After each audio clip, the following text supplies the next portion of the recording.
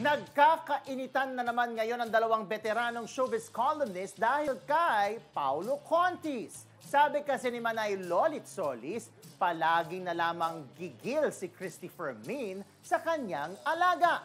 Nagbabalik ang nanggigigil na si Ray Pumaloy.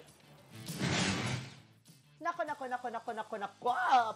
Pumalag na nga si Lolit Soli sa kapwa-kolumnista at kaibigan na si Christopher Min dahil sa halos araw-araw nitong pagbanat sa kanyang alaga na si Paulo Contis. Si Contis ay isa sa mga bagong host ng Itbulaga matapos umalis ang TVJ sa Tape Inc. Ayon kay Lolit, nagtataka raw siya kung bakit ayaw tantanan ni Tita Christy ang kanyang alaga at kung may galit naman daw sa kanya ay siya na lamang ang banatan at huwag idamay si Paulo.